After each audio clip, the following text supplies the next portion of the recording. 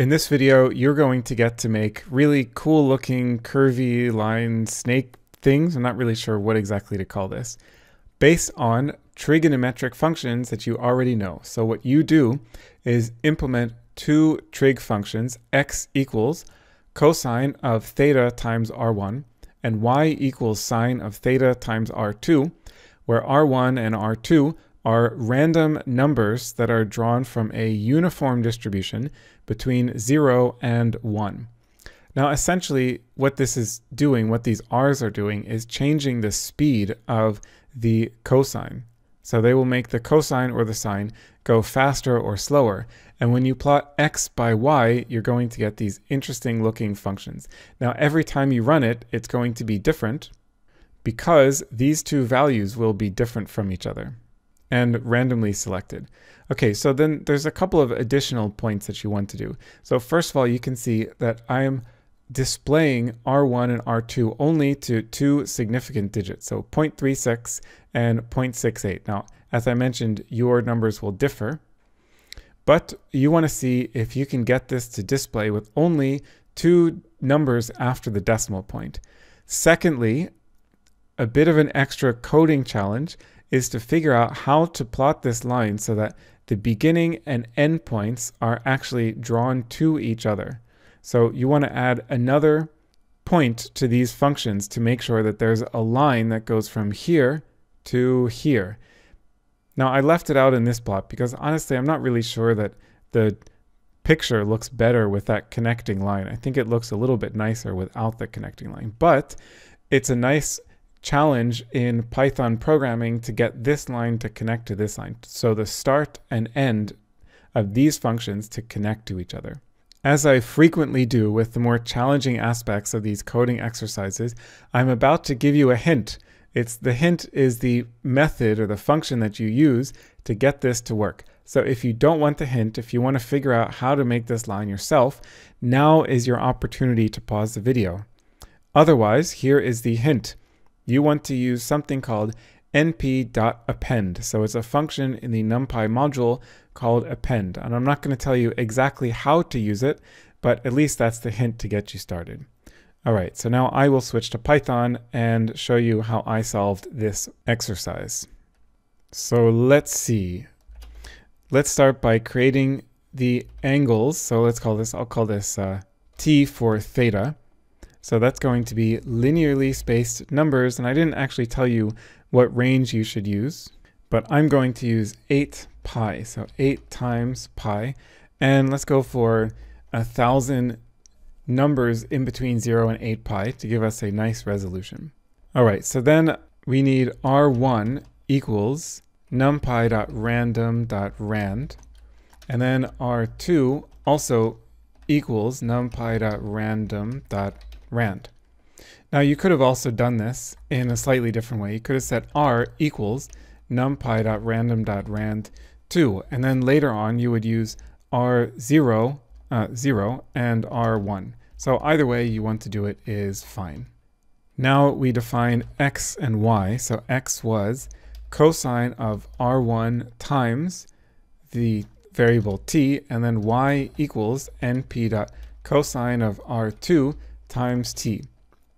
And now, before I get started with the actual plotting, I want to show you what this is going to look like. So t comma x and t comma y, and then plt dot show. So you can see that the sine and cosine have different speeds, and that comes from these different values of R1 and R2.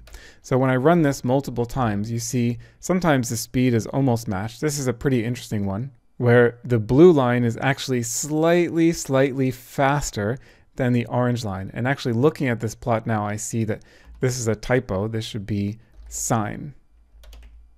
Okay, now you see. In fact, they, they get aligned here. It just happens by chance. Okay, so that looks interesting, but in fact, the goal is to plot x by y, like this. And now we're starting to get a really interesting looking curve. So let's see, let me do a few more things. I'm gonna uh, make this axis square I'm going to force the limits to go from, let's say, minus 1.1 to 1.1 on the x domain, and for the y, it's going to be 1.1 also to, or minus 1.1 to plus 1.1. Okay, and then let's see, I want this to be a black line, and then I want the axis off. So plt.axis off. All right, this is looking pretty cool. I think this looks really neat. Ha, huh, that's a funny one. So to understand these a little bit better, this one also looks pretty neat.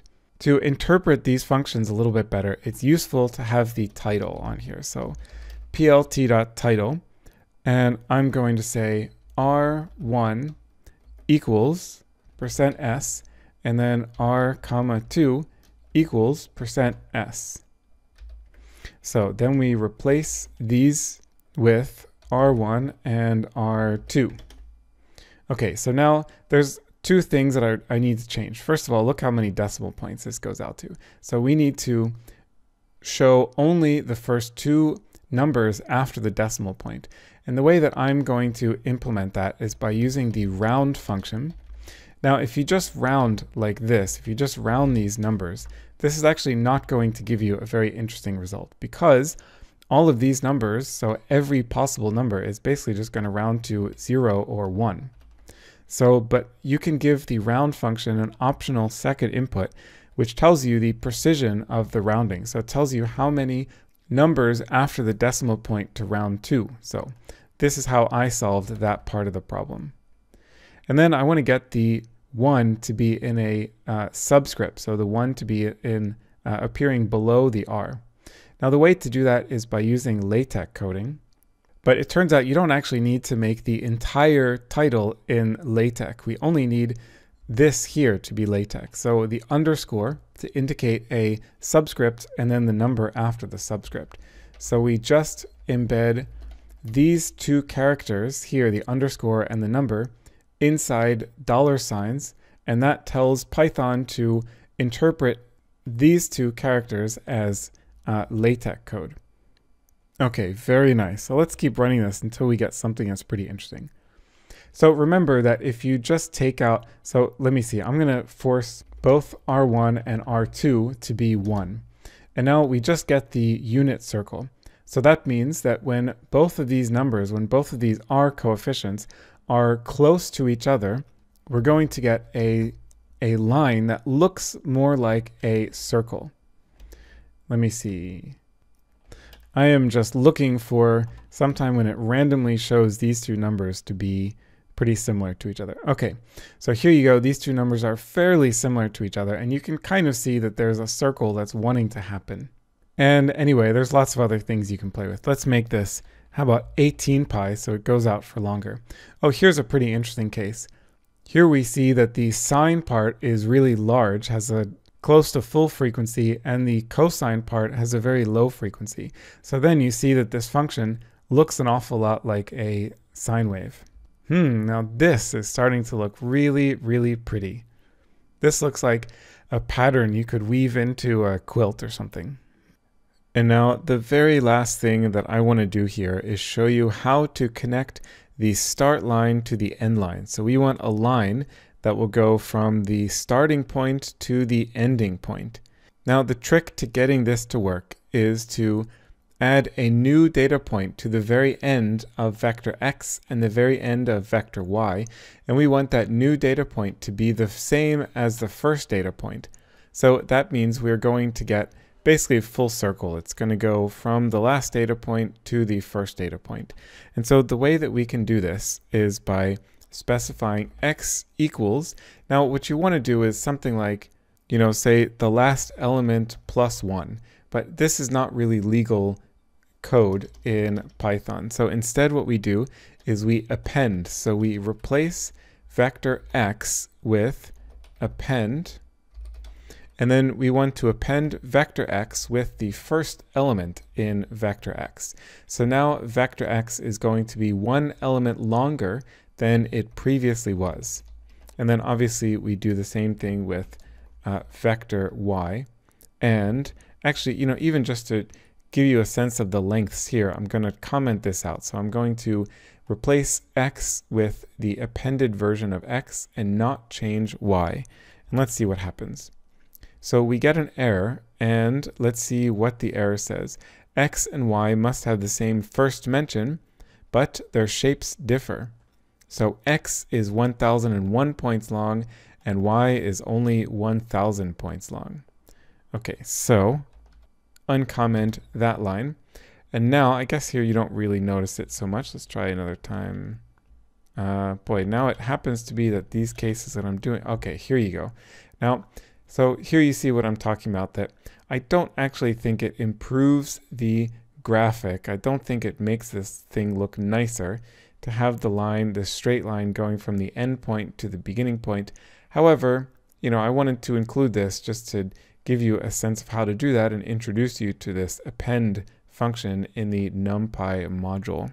Anyway, there is a lot more that you could do to continue playing with this kind of code and in general exploring the connection between math, in particular here trigonometry, and art, or at least kind of, you know, interesting looking things.